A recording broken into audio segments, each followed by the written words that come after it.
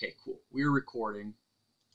Hello, everyone. Um, this is uh, Justin with the Kansas Socialist Book Club, and as you can see here, we have um, the article which I hope everyone read from Kites Journal, um, Lessons from Beyond the Grave. Uh, right now we're in between books, and I just want to say that, um, let me go to the assigned reading. Yeah, we had a vote of books other people suggested, and Anuradha Gandhi, um, Theoretical Trends in Feminism. That looks like that's going to be the next book that we read as a group. That's like the overwhelming majority of the votes. So that's going to that is actually I uploaded it in the resources tab, so you can download that PDF. Um, I thought I figured we'd read like the what was it the um yeah right here the forward and the introduction brings us to about page 19 I think that'll be good for next week. But anyways, um, let's go ahead and get started with this. So, um, yes, case study of opportunism and a summation of organizing efforts. Does anyone want to summarize the article? Um, I can. Mm-hmm. Um, so basically, um, it was talking about this guy's experience with LFK and how they got started, and I kind of noticed some similar things that they did that Renters Together did, but it's still um, a bit different.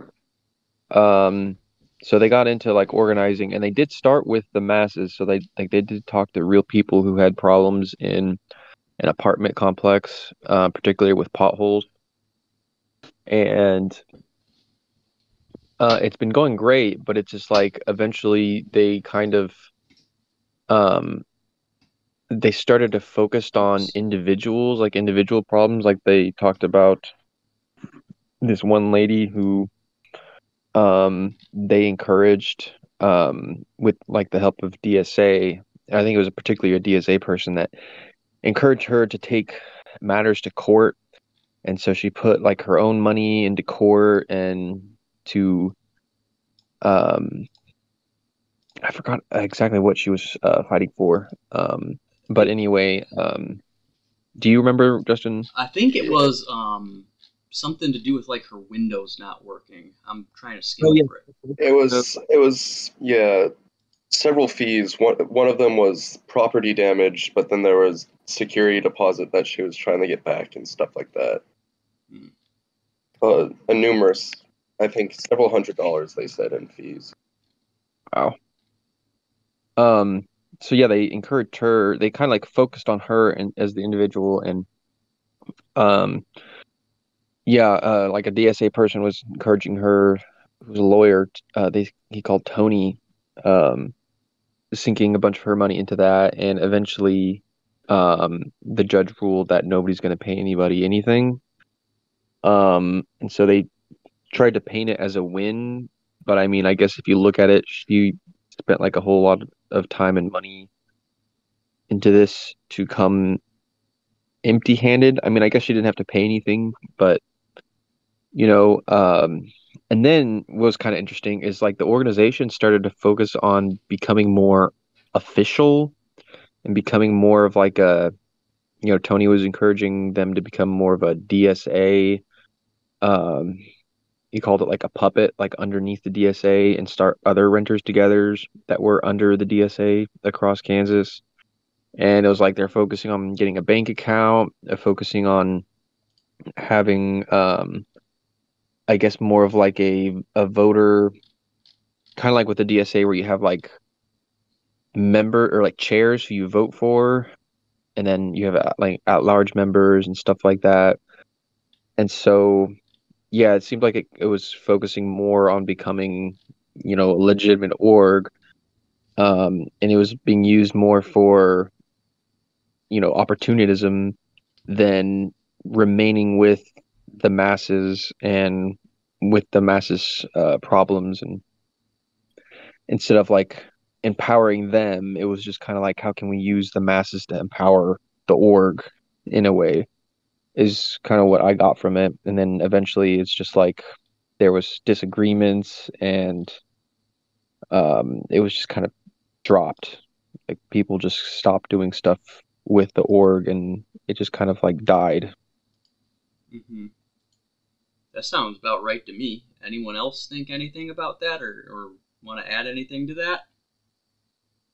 Um, I guess just to add, I know I talked about it already, but it was mostly the transition between the mass organization to the individual efforts that really started the decline in the organization. But then moving from that individual efforts to trying to become like that official, almost like a, I think he said an NGO, where they just uh, fund people's, you know, rents. Uh, was getting away from the mass line to more of a, you know, Yeah. Like, individual helps. Yes. Um, so it was more like a, they were running a red charity.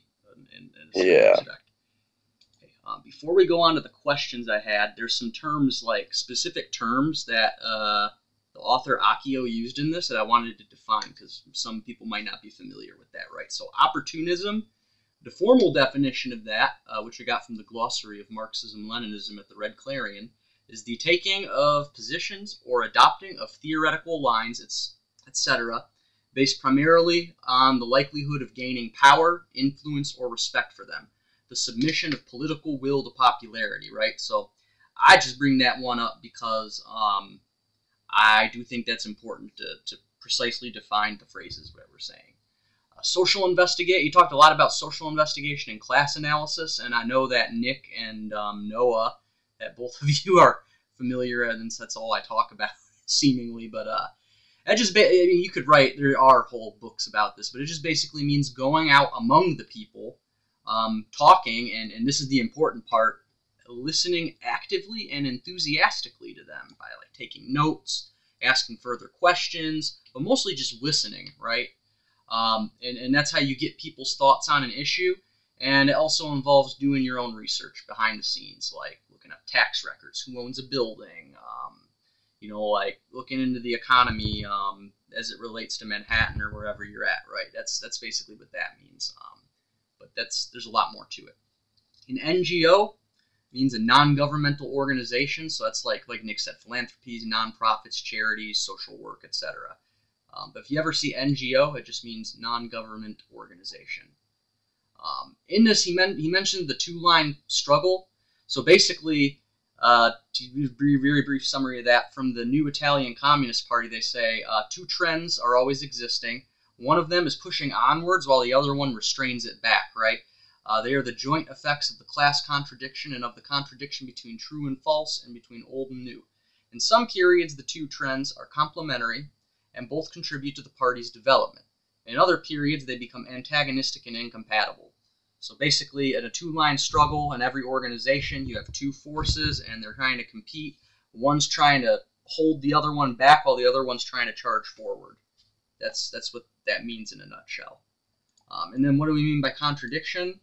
Um, again, from the Clarion Glossary, it says the inherently opposed logical extensions or compositions of any given state of affairs. Contradiction is what cha- drives change as two or more incompatible propositions hold sway for varying periods of time and gradually resolve.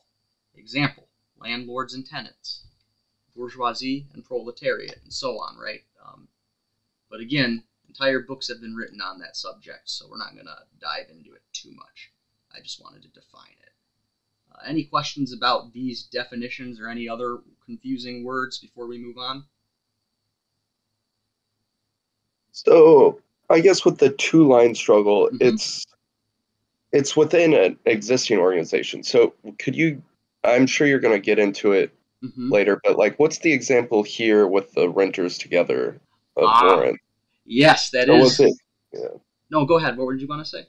No, go ahead. Oh, Sorry. Yeah. Uh, I would say overall that's actually a discussion question, which we'll get into. But overall, I think it's the um, the the, the conflict and the contradiction between opportunism on one hand, and on the other hand, um, I would say a vague, a very vague and, and not that strong, but it was nonetheless there. I guess you'd call it a, a revolutionary sense, because they they did they wanted to go out and organize the tenants and you know, overthrow capitalism starting in Lawrence, Kansas with the tenants um, but yeah, that's a good question. What was the two line struggle here?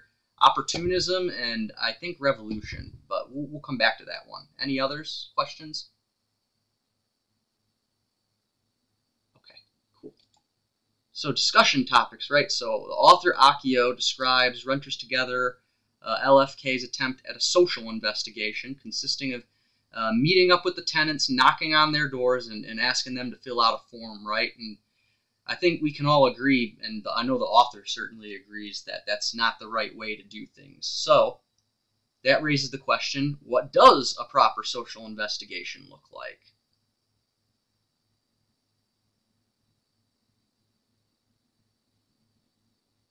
Um, Akio mentioned like to look into the history of like certain areas because it's it's important to get the the opinions of the people. He, I think he said um, something along the lines of uh, like it's important to try to get the petty bourgeois or the those people on your side, but it's more important to get the the proletariat or the the working class on your side. So having that understanding before you start door knocking on understanding what communities you're going into um, is i would say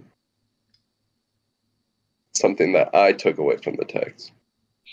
Yes absolutely. That's ding ding ding. That's very important. And yes i agree.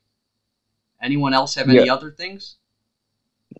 Yeah, it's kind of like um I don't know, I guess the sense I get with the liberals in electoral politics where um and I think other orgs make the mistake of doing this too, where it's kind of like they go to the masses to get them to do something for for them, you know? Mhm. Like, oh, you you want help, well, you have to come out and vote for us. You have to do, you know, fill out this form for us. You have to go do this for us if you're going if we are going to help you instead of like asking them, you know, getting a sense of like where they're coming from, like you said, the history and uh, you know, what are their thoughts and feelings towards these issues, and maybe even they have like some idea of a solution Mhm. to that. Yes, that is the other really important point. Is that and nowhere in this article did Akio ever once describe anyone asking someone for their thoughts on something. They just shoved petitions here, sign this, and like if I'm a person who don't know the first thing about socialism or activism or whatever, and a bunch of or you know random um, college kids come knocking on, it did sound like the majority were you know uh, undergraduate age and then just came knocking on my door, and I have never heard of them before. And, oh, but yeah, sign this petition. You're probably going to think like, is this like a Jehovah's Witness or a Mormon? You know, because it's the same stuff that they do. Um, so yeah, making sure that you actually talk to people is very Yeah, and it's like if um, you know, a characteristic of renters is like a significant amount of them is, I guess, a fair thing to say, uh, are low income. They don't have a lot of money, and if you don't have a lot of money, you probably don't have a lot of time either because you're Mhm. busy working all the time. And for somebody to come up to you and say, "Hey, I've got some work for you to do," um, even if it's something towards something you want to see resolved, it's still, I guess, a little bit discouraging, you know? Um, yeah, absolutely. It could they could even perceive it as insulting. Like, who the fuck are these people? Pardon my French, but who the hell are these people to come up in my neighborhood, in my apartment complex, and try to tell me what's best for me? You know, like that's I, I don't think they described that, but like I could definitely see that happening, and people who react that way wouldn't be wrong. They wouldn't be wrong because yeah, it's uh, exactly. Let's see, um, so we kind of looking at here. Uh, so then that raises the question what does it actually mean to embed yourself among the masses, right? What does that look like?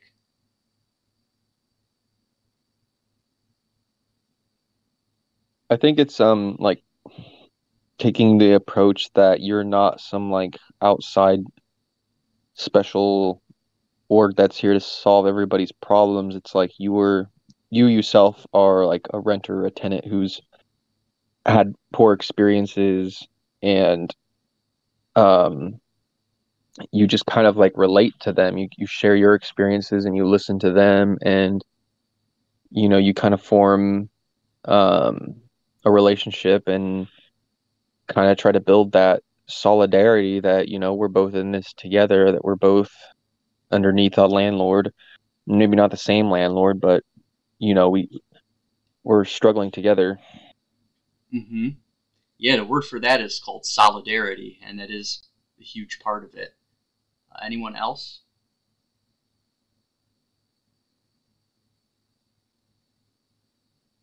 see, Hawkeye and Martin. I haven't heard. If you if you don't want com- if you're not comfortable or you don't have anything to say, that's fine. But I just want to make sure, like, do you two uh, have anything you want to say?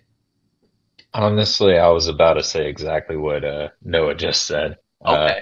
but yeah, no, I, I totally agree with that. Um, also, well, never mind. I, I'll, no, go ahead. Go ahead.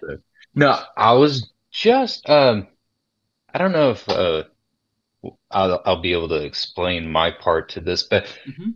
I work maintenance, and so when you were talking about like canvassing or uh, researching, I was wondering if there was ever an approach to talking to maintenance workers of these apartment complexes and stuff.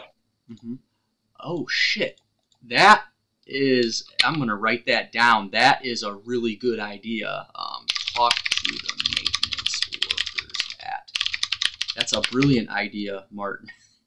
Love it. Because uh, Oh, sorry, ahead. Sorry. I didn't mean to cut you off. I was gonna say because I'm sure you guys had uh, negative experiences with maintenance workers for the, but for the most part, they're on your side. They're just trying to make the boss man happy. You know what I mean? But yeah, uh, and they know the ins and outs of the building, what's going on with the building. Uh, yeah, I just I think that's a good part of research. That's or a should- fantastic part. Yeah. Yeah, because like I know like a lot of grievances with tenants and landlords is um that things aren't getting repaired or things are in really Right. bad conditions. And, And- usually because they just don't want to use the expenses. And so it's like, how do we keep things going until shit hits the fan? And Yeah, and sadly, that's how it is with hotels. But yeah, sorry. What? no, yeah, it's hard with Discord like knowing when somebody's gonna talk.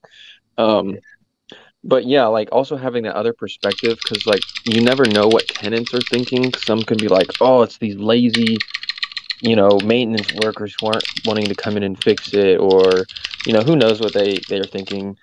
And having that perspective of you know maintenance workers saying like, hey, we would love to fix this. You know, this is what we do. This is what we like to do, and but the landlord's not willing to, you know, pay us to do it and put money into repairing it. So yeah, And that's a great. Sadly, and sadly, like the thing with maintenance workers, most of these apartments only have like one or two guys, and if they were to ever like push back and be like, "Hey, you know, safety concerns," uh, most of the times they just get fired and hire somebody else. But that's at least for the. I've never worked for apartments, but I've worked for hotels, and it's very similar for hotels. It's very scummy. It's yeah, that's why I got away from it.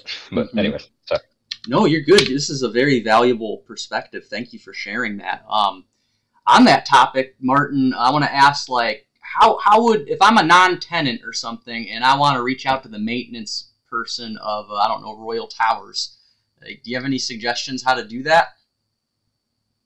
See, that's what I was trying to figure out. I I really, hmm. yeah, I other than like quite liter like you would just have to go there and catch them, but I don't know how you would reach out to them other than going through management, and that would be like Yeah. they would stop that Uh, yes. you know? yeah, they would. Um, Yeah, so I guess that's another reason we need to get to know the tenants, right? Um, 'cause Yeah. they Yeah. reach out. yeah. Uh, just to go back, like you're saying, embedding yourself in the masses is being a part of the masses. Like Noah was saying, the be uh, just to understand their struggle is important. Solidarity is always important, but if you're, say, like Martin, a maintenance worker, you're a part of, you know, a group. That said group. If you were someone living in an apartment building, you're a part of that mass. You know, you're a part of that group. So to embed yourself into it, I'm not saying we should all move out of our places and live in the apartment buildings because that makes us a part of the masses. But uh, in the sense, the best way is to have that experience of being there. So the get in touch with these, you know, uh, maintenance workers is to be, you know, a renter ourselves and to contact them, you know, through our property managements. Mm-hmm. Yes, that is also a really good point. Um, one more thing I wanted to hit here. Um, sorry, I'm trying to move it along because of the time crunch. But so Akio also outlines an error about expanding too soon into different apartment. You know, they said, "Oh, we, we got our potholes filled. Now let's move on to the next one." In particular, one that he describes was the West Hills complex. I don't know if you remember that one. So I want to ask, like, why is that bad? You know, isn't bigger always better? And and you know, don't we want to grow?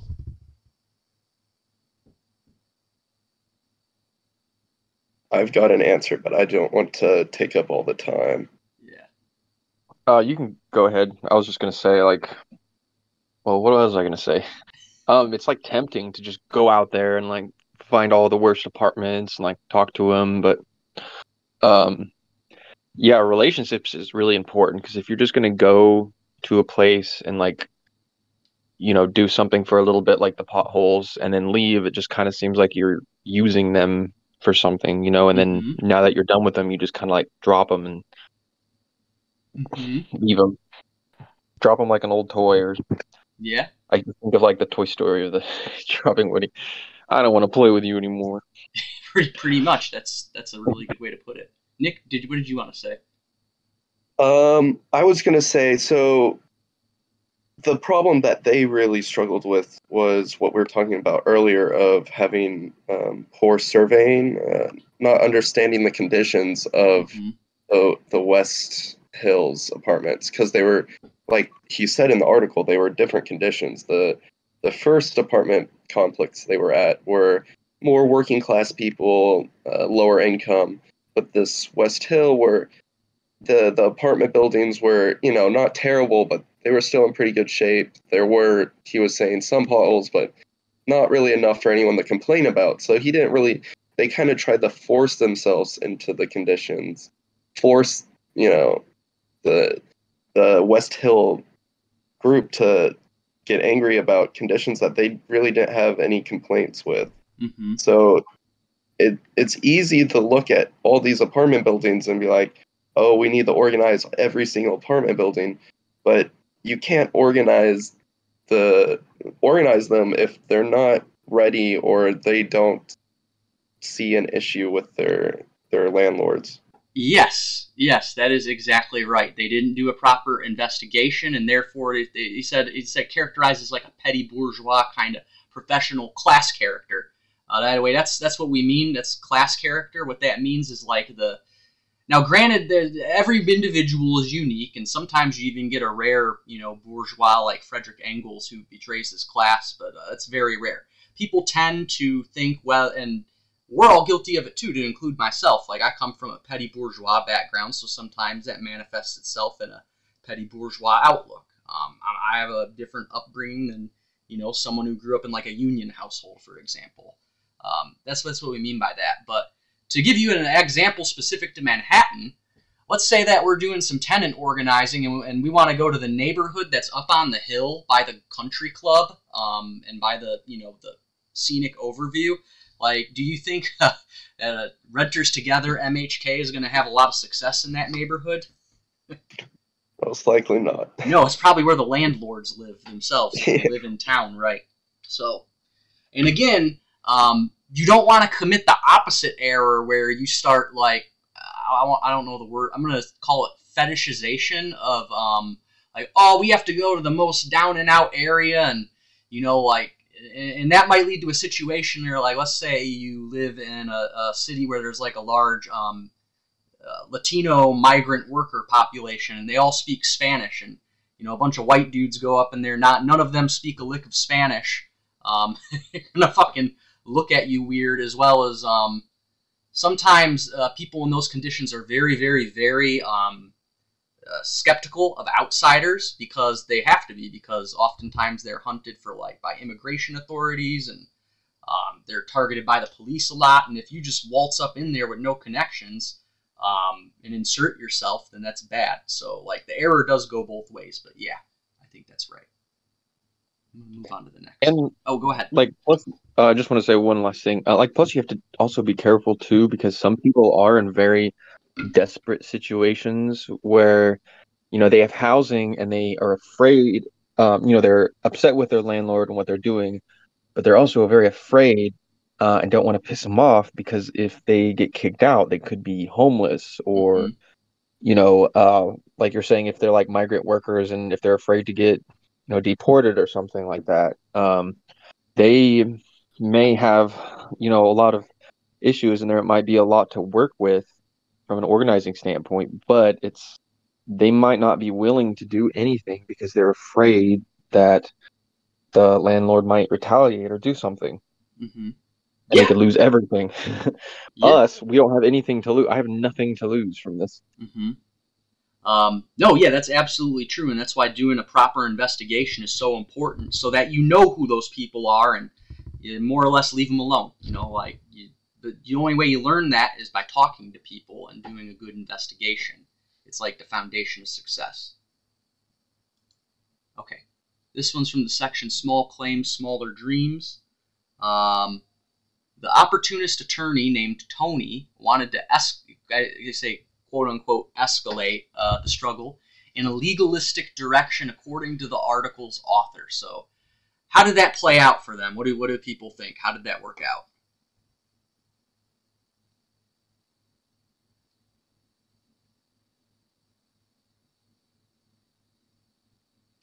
Um, I guess something uh, like I said earlier. Um, I mean, it worked fine in the sense of they were able to get people in court and fight for that, but it changed the direction of the organization from a mass line struggle to individual struggle. Um, they used Sarah as a, a puppet or a figurehead as her case. Oh, she was able to waive all her fees, but not really looking at how that connects with the community. While sure that's important for the organization to do, we should be helping, you know, every individual that we can, but we should try to tie those individual cases into a, a mass a mass struggle, which they were unable to do.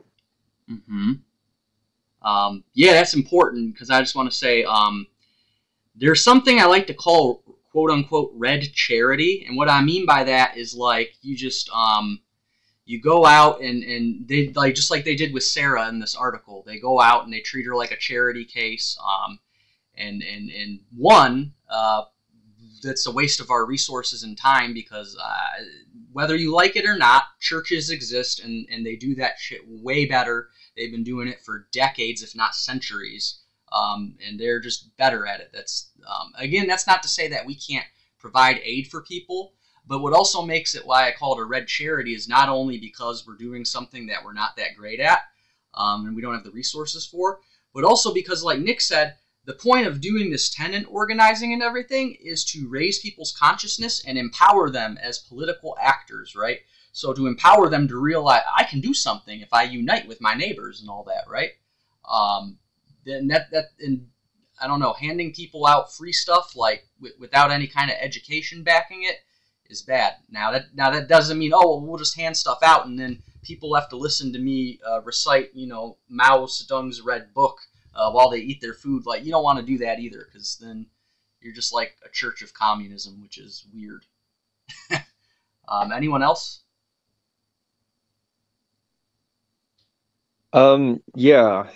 Um, yeah, like I get some of that stuff is really important. Like I know Renters Together did stuff with, um, and I was a part of it, um, to help Alice and Gary to keep them in their home because that's just very, you know, it's like you just can't turn your back away from that when somebody's like desperate and in need of help like that. Mhm.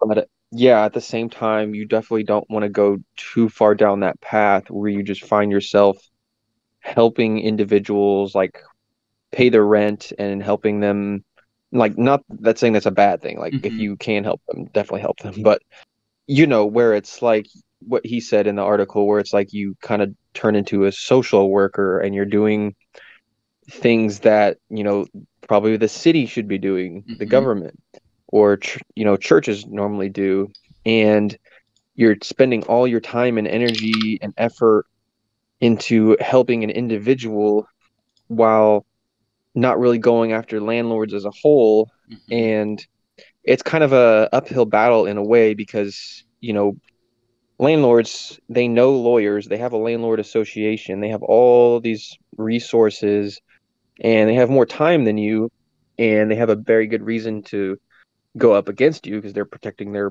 their business their property Mhm. and it's uh it's a lot of fight for maybe just a little bit of reward for one person Mhm. and um, it's very easy to kind of get burnt out because then you're like, oh, I can't do this for like every single individual, or or what's worse is like if you put lots of time and energy into something and you don't get any reward or like a little tiny reward, Mhm. it can feel very discouraging, and you're just like, okay, uh, I need to take a break from this for a while. Yeah. Um, yeah, but um, I agree with that. But uh, Noah to go. What was the name of that cup? The older couple when we were talking uh, earlier, um, and you mentioned them just now. Uh, it was Alice and Gary. Yeah, Alice and Uh, Gary. Yeah. Um, I remember that when we were talking earlier, you said that they actually uh, ended up being pretty class conscious, and they ended up. Um, I mean, I know they're not in renters together right now, but you definitely brought them up as like, yeah, these are some people who might want to join us and help us out, right? So um, the reason I bring that up is because even though you were helping like an individual family, um, whatever you did worked, in my opinion, because they walked away from it not only um, resolving the issue, you know, the immediate issue, but they walked away with from it with a higher degree of consciousness and education, right? Um, Yeah, and it was good to put them on blast. Uh, Rodney Steven mhm. too. That felt good. Yeah, so you were Um, also attacking the class enemy. Yeah, it was. Yeah, it was very good. We still had that in mind. Um, Mhm. because I think luckily Renters Together MHK didn't have as many opportunists. Like I didn't notice really any opportunists who were like, let's make this organization about this instead. It was just kind of a um in my opinion, it was just a lot of people who didn't really have that theory behind them. They were like liberals who were kind of lost and like a lot of the meetings were people who felt lost they didn't know what to do they knew there was Mhm. like problems but they didn't know how to go about it and um it kind of fizzled out mm-hmm. Yeah, that's that's absolutely um, that is absolutely true. Having a revolutionary theory and educating people on it, like we're doing right now, is very very important. Um, I'm going to move on to the next slide just because, like I said, I'm on a bit of a time crunch here. Oh, I love this part. The bourgeois he calls it bourgeois theatrics, right? So he talks at great length about what I call the activist subculture. So does anyone want to take a shot at what at what that means and what it looks like?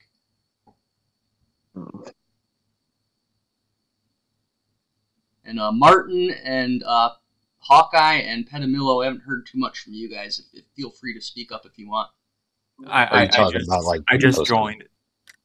I was gonna say, are you talking about like Twitter activists, like people that are just for show and Mm-hmm. and just post it on media, but they don't actually go out and do stuff?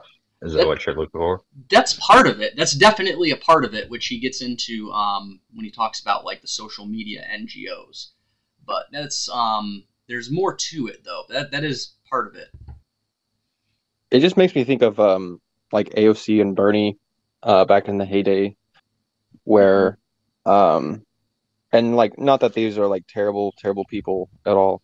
Like don't get me wrong. Um but it's just like they put on a lot of a, a show. Hmm and of course like it's like that bourgeois theatrics where you know it, it might hit the bourgeois um in like a social way hmm where it, it's like you know they see all this stuff online and they're you know they get upset or whatever. But it's not like they're going to the masses and um or like to you know unionize unions uh, picketing or anything like that to Mhm. get a better understanding of their situation and helping support them it's just kind of like um you know, they go up and get up in rallies and they're like, you know, this is bad, this is bad.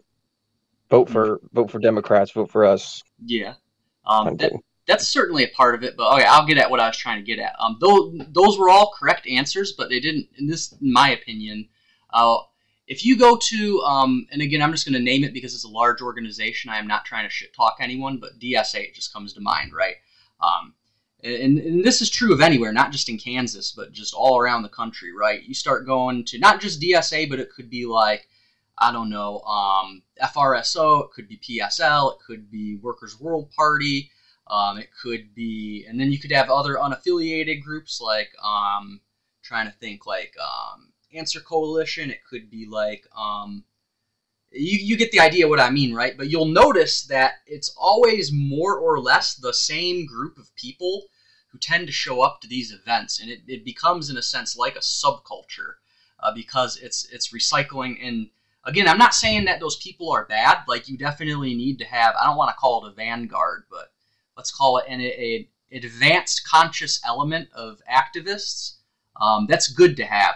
But like what, what I think what Akio is trying to say here is when all of your like he was talking about how they put on um, a presentation about landlords and stuff and who showed up.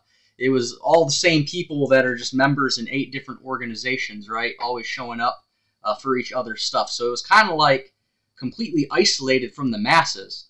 And I like to think of it as like, okay, if I just go pick an Uber and you know a random person comes up and my Uber driver and I get in the vehicle and we start talking and I say, oh, I asked them about um, Renters Together Manhattan. Do you know anything about that? I don't mean no offense, but I think they're probably gonna be like, well, no, what the hell is that?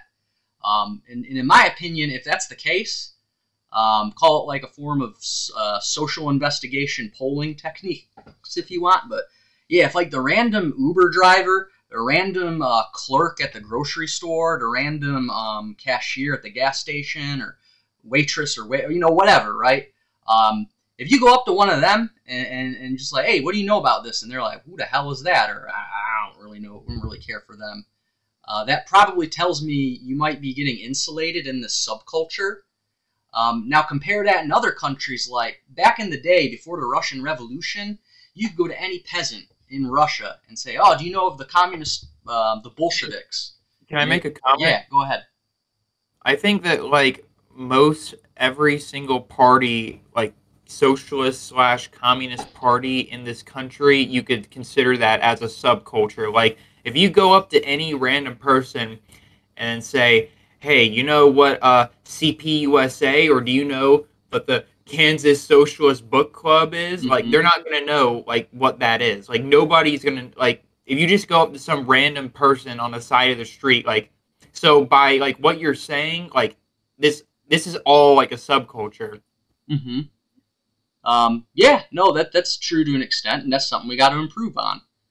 Um, but what's cool about it, at least speaking for the book club, is like you'll see if you go in the introductions, there's random people who just show up and they're like, I saw your flyer laying around and that sounded interesting, so I wanted to join. You know what I mean? Um, but yeah, no, it's a valid criticism. There's a lot of, uh, yeah, kind of insulation in this group. Um, I think it sometimes it, it has to start that way. Sometimes, mm-hmm. um, just like as a little subculture. Um, but yeah, you definitely don't want to like keep it that way mm-hmm. where it's just like you and your friends are just you're preaching to the choir and you just post stuff online at landlords because it, it does take a lot of work to go out and actually talk to people mm-hmm. um, and do that actually effectively um, but yeah um, and i think because before i joined renters together they were doing a lot of stuff on educating renters and mm-hmm. a lot of it was made up of students and i think they were students who because uh, particularly students are more well off than the average renter because they come from a wealthy family i mean particularly for going to school um, more than likely of course this doesn't apply to everybody but like more than likely your family is well enough well off enough to support you to go to college mm. so um that was a little bit different there too. And I think, or it's a little bit different than um, actually working with rent real renters out there. Um, who, you know, they don't have that support behind them. And it just kind of seemed like they weren't going out to those renters. It was kind of like they were sticking with students because students, you know, a lot of them come up here and they've never rented before or signed a contract and they didn't know any of this stuff. Mm-hmm. And um, they didn't really challenge. Uh, it was just like reformism. It's like help educate tenants, and then maybe there's like a law or two or regulation that we can put in there Mm-hmm. um, to try to fix this. Yeah, I agree with that. And um, yeah, anyone else have any comments on this?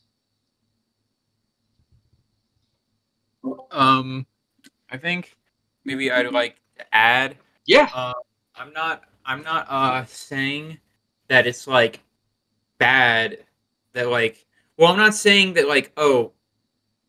Well, I think I'm more. I think maybe I just have an issue with with you, f- with with the how it is that you frame like okay, it's a subculture, but Mhm. like it's all i mean the whole thing is like a subculture like we're like we're not the establishment like we're not Mhm. we're not the people who are the ones that are have state power right.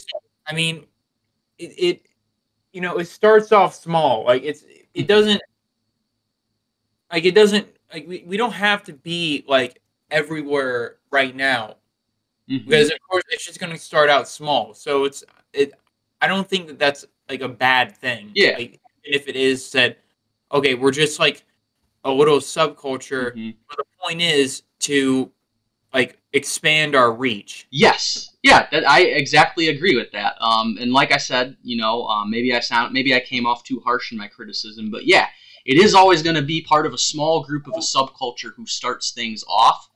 But the point is, once you get it off the ground, if you're, if if the only people who are coming to your events are your fellow activists in the same subculture, that suggests you might be making an error. That's that's the point I was trying to make. Um, so I apologize if I came off a little too harshly in my criticism of that. yeah that makes sense like there should you sh- like groups should be trying to get more people like especially um socialist groups which are concerned with like tenants and workers but i mean you know if same if the same groups of people like that usually come keep showing up that like i think that's more of um people who might be more like devoted to keeping like the interests of the party going and like to spread propaganda Mhm. around.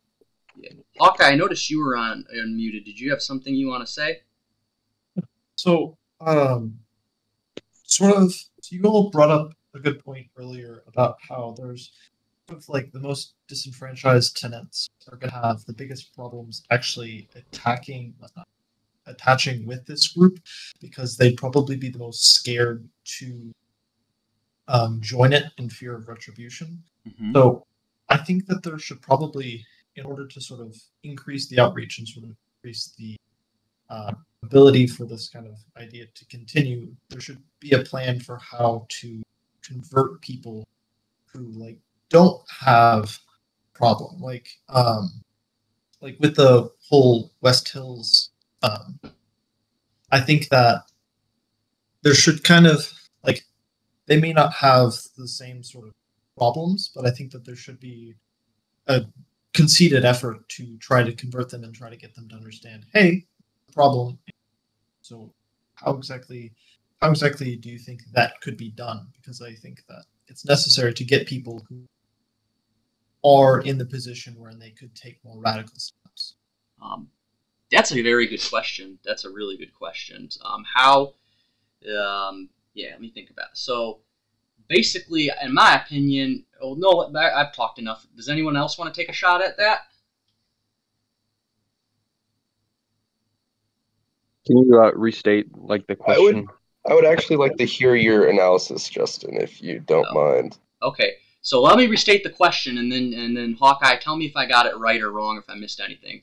I believe what you're asking is, Um, if, if it's the case that the, the most dispossessed and worst off among us um, tend to be very frightful and scared of outsiders for legitimate reasons, that therefore we have to um, uh, go out and try and win other pe- well, other sections of the population over, right? And what you're asking is like, how do we do that? Is did I more or less get that right?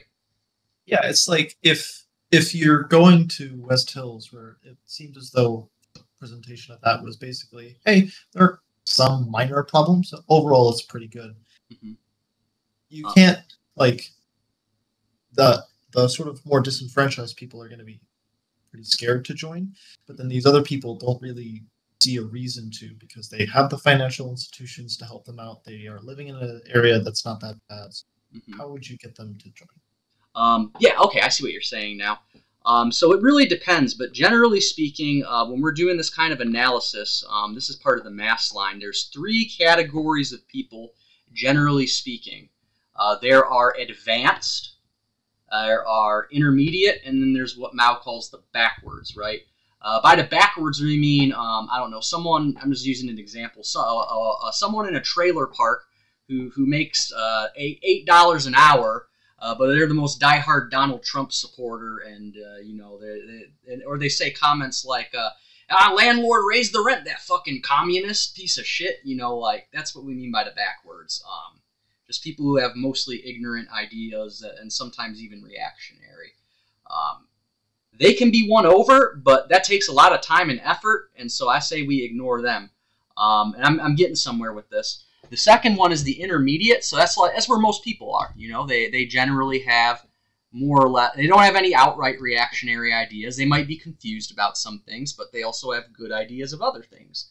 Uh, those are the kind of people that you want to reach out to as well um, within the working class and stuff. But since you're asking like how do we reach out to petty bourgeois, for example, or uh, you know even a proper bourgeois, uh, there's the advanced, and they can exist in any class, but um, they are like the people who are already sold on revolution.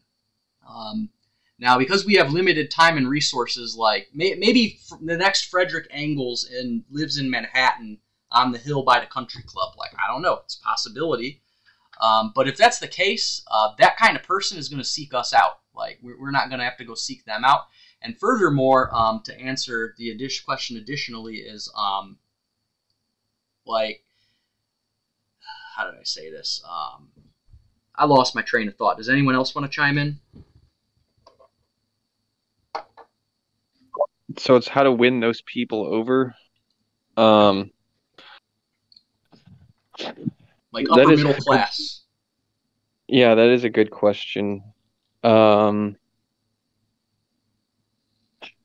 well, I don't know. I guess like the first step, of course, always is just like talking with them to see what their situation is, and then kind of uh picking at the this I don't know how to like the right the properly word these this, but you know, pick at whatever grievances they might have and um, maybe start to like compare them to other people's grievances who are much worse. And i guess try to make the case that you know we're stronger if we work together. You know we can uh, help each other out with our problems kind of like a what a union does. It's, it has your back.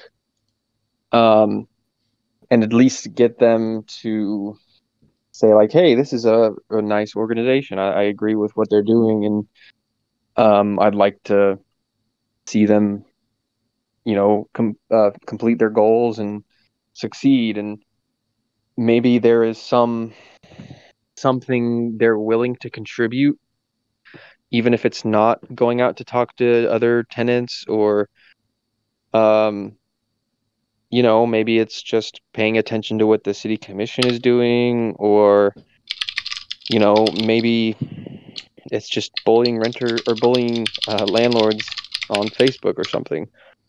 I, I guess that's a, a good question. It's Yeah. probably takes more thought and planning. Yeah. I want to let Hawkeye that's- give a response for it because we're, we're on a time crunch. I want to let them respond, and uh, I just say I will come back to this question. It might take me a while, but I will. But go ahead, whatever you wanted to say. I I've liked what you guys have said for, so far. Of just kind of like, you know, everyone's going to have problems no matter Mhm. where they are in life, and so sort of honing in on whatever problems it is that they do have, and sort of talking about those and delving deeper into those, and sort of getting them to understand um, some some like you know, because in all likelihood those deeper problems are probably going to come from deeper issues. And so getting them to understand, hey, this problem that you're having is probably coming from this deeper issue.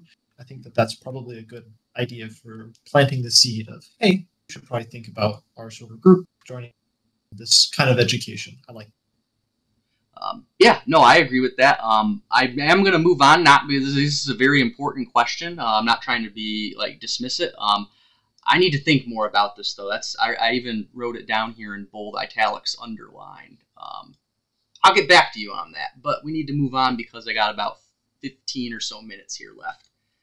Um, now we're gonna skip that one. Okay. So I actually talked with Akio um, over text, and he wrote me up as like I asked him if he could come. He said no, he's busy. But um, he did write up a little summation here, um, which I kind of summarized. I don't know if he wants me to like show the whole thing, so I'm not going to. Um, but I did summarize his points. But there was one quote from it that I just wanted to point out here, partially because I was like, "Ouch!" I feel that one myself. Um, not going to lie to you, but I also think it's a good point. See, uh, he says. Communism is not a vessel for maladjusted young people, or if you're like me, an old person, to find some sort of grandiose purpose. It doesn't matter whether I love it or not, or whether I feel transformed or whatever. And if I believe that becoming a communist is supposed to enrich my life somehow, uh, side note, it, it won't, um, then I'd be in it for the wrong reasons. Uh, be a communist because it's morally righteous, because the doctrine of Marxism is true, because the liberation of humanity will not happen without it. If there's an inkling that getting the right politics will solve your personal problems, that should be stamped out. Um, that was a quote from his summation. Uh, I thought that was really good. Um, I wanted to share that though because I think it's a really important point to make. And to be completely transparent, I also was like, uh, that describes me a little bit. Something I need to work on. um, anyways, this is the last part. Um, I basically summarized his points. Um, so he talks about in this article, he said um, one of the things he thought he did wrong was he wrote it in the first person, which might not sound that significant. So like saying I, me, and, and instead of like we or us or just the third person, like he, she, they, them. Um, the reason that he said that was because it blurs the lines between objective fact and subjectivity too much, right? Um, and, and, and Akio said that if they could go back and do it all over again, they would, you know, be a lot more objective with this because this is a summation of a collective experience. It's not about like, oh, me the individual or whatever, right? Uh, which is that's what they mean by subjective. Um, and when you do these kind of summations, so summation just means after you do any kind of event, um, a interviewing someone or um, doing an investigation, having a demonstration, uh, meeting with tenants, whatever, uh, you summarize it in a summation. And he said that those summations should be extremely specific. It should be dispassionate, not couched in rhetoric and, and fiery language, and should purely stick to the facts of it. And, and he said that in his article, he felt like he was using too much rhetoric, uh, too much fiery language, and, and they would change that. Um, upon yeah, and then that kind of goes here. So upon concluding a project or a campaign, should always, always, always, always assess what happened, uh, what was tried out, what factors went into the success and failure, and uh, and look inside the group as well as outside, because a lot of people will, will don't want to be self-critical, which is like self-reflection. Um, and they, oh, it was all, it was an external fault. It was the police, or oh, it was this, that, or the other thing, and it's never never the group's fault. So like when you're doing this, yes, you want to be honest about what was going on outside of your organization, but if someone's attitudes or, or, or something kind of dynamic inside the group was a cause of a failure, you need to be honest about that and keep a copy to yourself that's for internal use only. He said that was very important. Um, cadres, so cadres, as you could call it, like activists, leaders of the group, need to be united around a single political line. That means like when we're doing this, we need to be in agreement. Like, okay, what's what's our purpose and what's our um, political orientation? Not not not as in like, oh well, we're a Marxist Leninist group, so Marxist Leninist Maoists can't join, but more like, do we want to approach this um, tenant organizing from the position of like like Noah was saying, oh, we'll just teach us some classes and kind of, you know, undo the worst harms of bare capitalism, or do we want to be revolutionary in our orientation? And do we want to actually heighten the contradictions and really bring the class struggle to a head, right? That's what they mean by political line there, not so much like what your label is. Um, what was try? Yeah, so when you do do these assessments, make uh, no. Oh, we already said that. Um, and the reason that the political lines is important is because it explains why you're doing things the way that you're doing them. It's not just someone saying, "Oh, you go do this because I said so." Uh, you talk about it as a group and like, okay, we're doing this because it advances our political line. Um, and finally, go out and be among the masses. Like we already talked about that, but that that part is very important. Um, cool. Does anyone have any comments on these self criticisms or any other criticisms or anything that you noticed or? Yeah, I guess what hits uh, hard to me is the uh, looking inside the group, how everybody did, and what everybody's thinking. Because I think it's so easy to be like, well, we need to do this, we need to do this, we need to do this, and um, you know, we haven't really self-reflected too much in renters together um, in the past, uh, particularly around you know how everybody else is feeling. Because I know, you know, when you're working with a lot of people and you're getting people into this organization, um, it's more than likely that these people don't have a whole lot of experience or any experience organizing, and it's very easy for more experienced people. And you know, I'm always very guilty of this, of just kind of like running the show um, and I, I, get I kind of done this in the last two weeks, but that's just because I've I've have I have a lot of experience with renters together. Mm-hmm. Um, but I want to be careful of not just like trying to do things all on my own and um, just like move forward, move forward, and not listening to people. And if they, you know, if they're confused or if they're kind of like stressed out with like personal matters and they're busy or you know, just to make sure people are on the same page and not not leave people behind um, trying to get something done. You know. Mm-hmm. Um, yeah, real quick, I just want to make one comment, and then others can talk. Um, I don't think there's anything wrong, and in fact, I think it's a very good thing if communists are leading the struggle. Um, I don't think that's a bad thing in and of itself. I think it becomes a problem when well, communists or socialists or whatever are just like being commandist, like you do this and you do that, and nobody gets any say in anything. Um, I think that's what you should avoid, but I don't think it's inherently bad, and I'd say it's good if communists do lead struggles. Um, but that's all I wanted to say. Anyone else? I, I um, agree.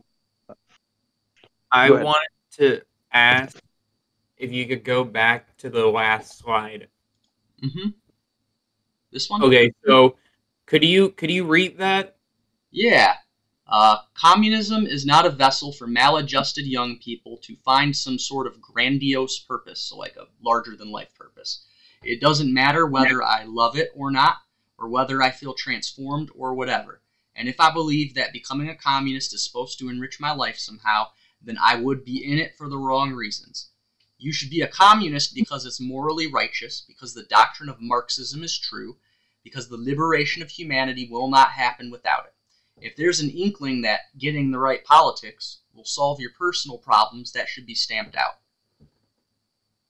I think that that connects with the last slide where we talked about the subcultures and mm-hmm. like AOC and Bernie Sanders. Mm-hmm. At first, I thought that this was saying something else, but now that you reread it, and now like that I'm hearing it again, mm-hmm. that sounds like it sounds like it's describing like like edge lord people on Twitter who like put a bunch of like like um shit on their profile picture like like just call themselves a bunch of names mm-hmm. like like Stalinist Trotskyist. And they have like eight different flags of countries they never visited? Yeah.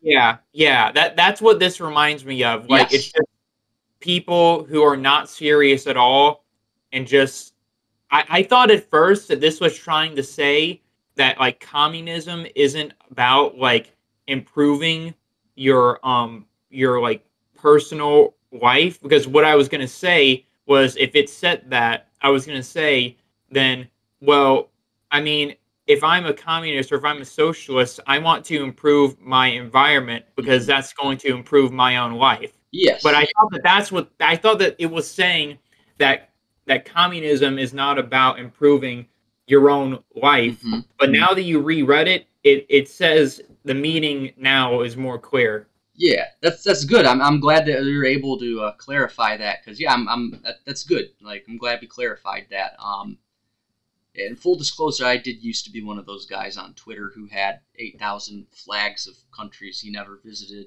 uh, in his profile. Oh, I yeah, I, I- get that though. Um, we got about ten minutes left. I want to give others an opportunity to, to issue closing thoughts or whatever.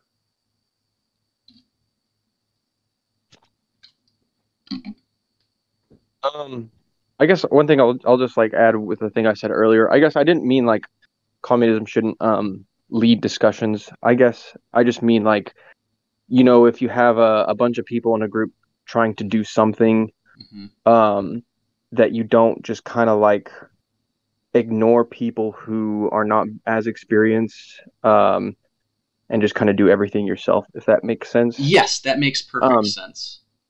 yeah where it's like there's no problem leading but there is kind of like where it's like oh well i'm not just going to bother teaching you or you know helping you out um hmm I, I can just do this for you i'm just going to do stuff for you and i think that's where like some orgs too in, in general uh get into trouble is they're like well i'm going to do stuff for these tenants like i'm going to fix all their problems Yes. for them and then tenants are like okay well what do i do you know how do i fit into this hmm you know, well, why don't I just stop going to meetings and stop doing this and just let you do this for me, kind of thing. Uh, yes, that is. You identified something very significant. Um, Nick, did you want to say something? I thought Nick was trying to say something. My bad. Hello? Oh yeah, can you hear me? Hello? Yeah, no. I don't know. I was You're going in and out. Um, your microphone. man, I I do not know. Is this That's any better. better? That's much better now. I don't know what's up. What I was trying to say is that was the importance of um, embedding yourself with the masses opposed to just being in solidarity or telling the masses. So, like, we can, you know, like I was saying earlier, you can um, be there and try to support them, be in solidarity and whatever, but until you understand their struggle or allow them to speak and work on their own struggles, they're never going to uh, truly be, you know, you will never be an organization that truly helps uh, the working class. Yes. Um, there's a quote here from I want to read. Um, okay, yeah, this is a quote from Mao Zedong, um, and he says, "The masses have boundless creative power. They can organize themselves and concentrate on places and branches of work where they can give full play to their energy. They can concentrate on production in breadth and depth." And create more and more undertakings for their own well-being. Uh, that's from chapter 11 of the Red Book on the mass line, right? And I think that gets to the root of the matter, because ultimately, the masses do have untold wisdom. Um, they um, not every idea that people have is going to be right, but um, like like when when Martin spoke up and talked about talking to the uh, maintenance people, uh, like that. Honestly, that idea would have never even struck my mind unless he brought it up. So like when you talk to just anyone, um, you learn from them, you know, and that's that's a mutual relationship. It's not a one-sided like client relationship, I guess you'd call it, right? Does that make sense? Yes. Cool. Got about five more minutes. Does anyone want to uh, say anything else?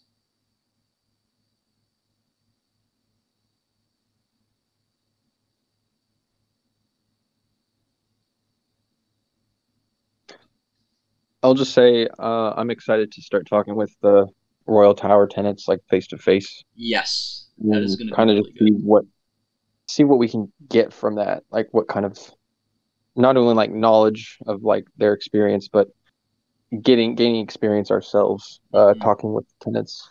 Yeah. again. on that topic in the um, the renters together group i posted some things um, that's not i'm not assigning anyone homework but uh, in the spirit of that question you might want to read some of the stuff i posted about the mass line about subjective and objective contradictions because that is really going to i i, I read it before uh, here that's really going to open your eyes up and that's really going to um, give you a better idea of how to do this um, but again yeah I'm excited for it too.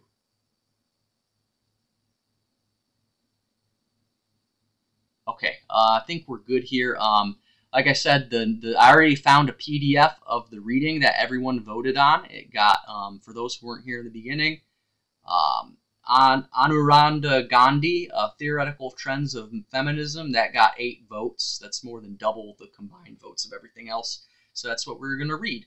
Uh, in the resources channel, you will see like Danny, I guess, has a physical copy of the book in Hungary. Um, but you'll see here, uh, Philosophical Trends in Feminist Movement PDF that I posted today is really good. And um, yeah, I will reflect on that question about how do we reach out to other people. Um, went over the, uh, I call it the upper strata of workers and petty bourgeois. Like, how do we reach out to them? Because uh, it's an important question. Um, anyways, y'all can stay around here and hang out and talk to your heart's desire. I am going to, where is OBS? Um, yeah, there we go. I'm stop streaming that. I'm, I'm sorry I was late. I was No, you're good, man. Um, you're good. Yeah, this is a mass organization.